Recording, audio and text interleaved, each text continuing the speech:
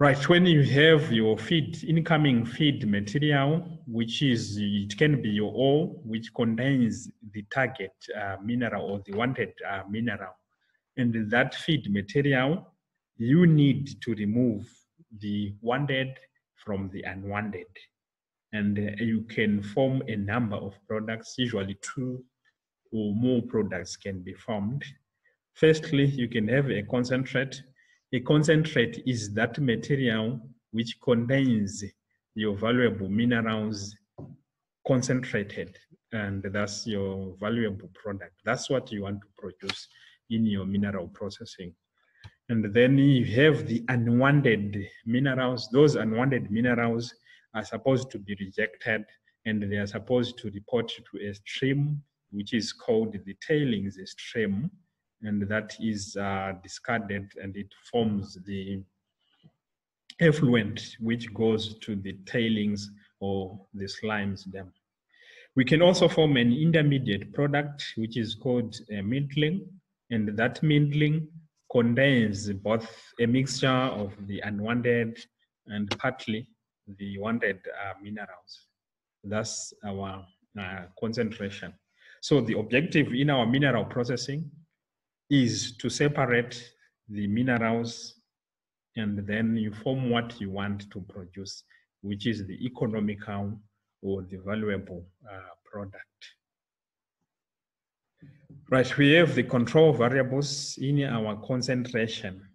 So the first thing that you need to know is the grade or the assay values of your feed material, right? What is the grade, what is the head grade that you are looking at in terms of the percentage, or we are simply talking of the metal content, that's the assay value or the grade of the material. And it's important for you to know if you have that grade, you are able now to compute how much you have of the wanted in your material, right? So your percentage, if you have 2% in one ton, it means that you can compute how many kgs of the wanted do we have in that one ton. Okay, that's the importance of our grade. And uh, it also applies not only to the feed material, it applies to all the streams across the mineral processing plant. So you can talk of that middling and you can have the tailings, you also need to know how much of the valuable is going to your tailings. Then we have the term recovery. Recovery, it now refers to how much you are recovering from the feed material to your final product, which is the concentrate, right? That is the recovery. How much you are able to uh, scout from what you have, what you are starting with and then to your final product, right? So it means that uh, if you have a higher number of the wanted particles reporting to the wanted uh, wanted concentrate products, it means that that's a high recovery. It can be 90%, 95%, depending on the efficiency of your process. And then if you have higher losses, that means you are going to have a low recovery if your tails or your tailings product contains a lot of the valuable minerals, it means that uh, your recovery is going to be very low and which is not required. So the control objective in our concentration uh, techniques, we are looking at the grade, we are looking at the recovery. The grade of our concentrate is supposed to be as high as possible right? You need a high grade material, right? So it must be as high as possible, right? And then the recovery, we also need to get a very, very high recovery so that we minimize losses of material to the uh, tailings. So mathematically, your grade can be expressed in terms of the mass of your wanted mineral in a certain stream divided by mass of the stream. And you can multiply by 100 if you want to make it a percentage. or you can multiply by uh, 1 million if you want to make it grams per ton. Then your recovery, you are looking at the mass of the mineral in the concentrate divided by mass of the mineral in the feed multiplied by 100 to give the percentage recovery. So the higher, the better. The lower, it means you are losing minerals to the tailings, which is not desirable. Right, so if you plot on the graph, you can see that uh, the graph of the material versus the mass pull of material that you are pulling to your concentrate, you'd find that the grade is going to decrease as you increase your concentration. Increasing the concentration means that uh, a lot of particles are being recovered from the feed to your to your concentrate and that decreases the feed right and with time if you look at the recovered mass per graph you would find that uh, you're going to increase the recovery which means that a lot of particles are going to report to the concentrate and thereby increasing the recovery though we have indicated that that decreases the grade so let's look at the relationship between your grade and your recovery. You can see that at higher grades, if you aim to attain in your concentration process, we are referring to our concentration uh, process here. So if you are concentrating and if you are aiming for a very high grade, it means that you are now compromising on the recovery because you are extending your concentration time and uh, by so doing, you are going to reject some of the wanted minerals to the tailings, and that decreases the recovery. So at lower values of um, recovery, you are going to get a high grade. And also at the same time, if you aim for a higher recovery, you're going to have a lower grade. Why are you going to have a lower grade?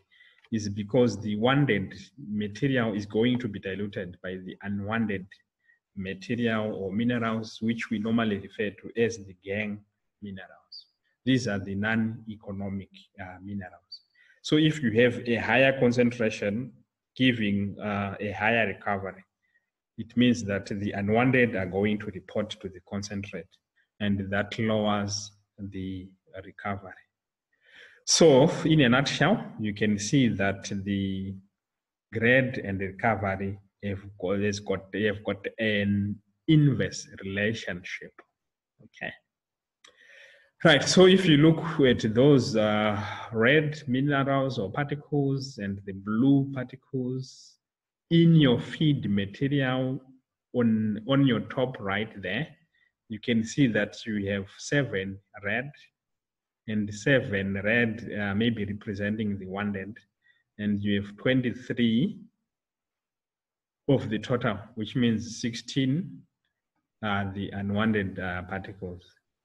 So in the first uh, concentrate to your left side, it means that you are recovering four, and then uh, the total in the concentrate we have five, which means one is unwanted.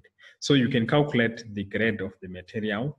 Four out of five times 100, it means you get the percentage of the wanted in your concentrate. And then on the recovery, you are now looking at how much you have started with. We have started with seven wanted material. And then we managed to get four wanted material in our product. So our recovery becomes four out of seven, and you can multiply that by 100 to make it a percentage uh, recovery. On the other hand, if you look um, at the concentrate represented uh, to your right bottom, you can see that uh, after the concentration, you managed to recover six wanted minerals or particles. And then you also have uh, recovered some of the unwanted into your concentrate, you have recovered uh, eight of the unwanted, which means you have a total of 14. So the grade of the wanted in that stream is six out of 14, which gives us 43%. And then on the recovery, you are going to have six out of seven. Seven, that's what you started with. Six, that's what's in your concentrate. And you are going to get uh, 86. Uh, percent. so if you compare the two uh, streams or the two concentrates that are being formed from the feed, you can see that the first one, the top uh, left concentrate, you're going to have uh, a higher grade.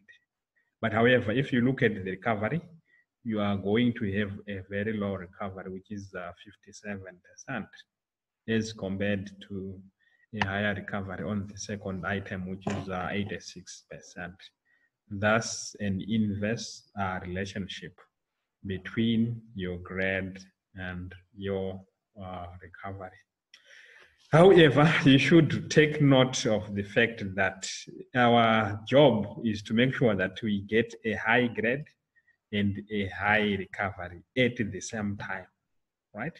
And that's a challenging job. Okay. So how do we do that? How do we make sure that when we are concentrating uh, minerals, we produce the highest grade? If you're talking of your gold, you want as high as possible took off 90% grade um, and 90% gold content, 95%, 96, 97. So the refining stages are meant to increase the grade of the material, right? But we have seen that the higher the grade, we are compromising on the recovery, right? But then how do we maximize the recovery and having a high grade at the same time? How do we do that, right? So in this uh, module, we must be able to answer that question. And that's what we are supposed, that's the technique that we are supposed to be uh, having. Right, so for us to be able to have high grade and high recovery at the same time, it means that the graph must be pushed in that indicated direction by that arrow. That's our control objective. So we want to have a high grade, a high, uh, a high recovery. So if we push that curve in that direction indicated by the arrow, it means that uh, you are going to have um, high grade and high recovery, right? So when we are operating the equipment or the concentration um, plans, it means that we should have some strategies. We should be able to manipulate the variables, and we should also be, have a certain planned configuration that will promote a high grade and a high recovery at the same time. Okay, so you will see that when we have some discussions on the concentration techniques, you would find that uh, in some circuits, you're going to have a first stage of concentration. And the concentrate that you produce is going to be sent to a second concentrator for doing the cleaning, which upgrades the grade of the material, which means you're going to produce a higher grade when you do it for the second time, which is called cleaning, right? And then in order to improve the recovery, it means that uh, you can also reprocess your tailings, tailings from the first concentrator, they can be taken to a second concentrator where you try to scavenge or you try to scout, you try to to concentrate again, you try to to make sure that uh, in the tailings you don't discard the wanted uh, material. That's uh, the scavenging part. Okay in order to try and maximize your recovery.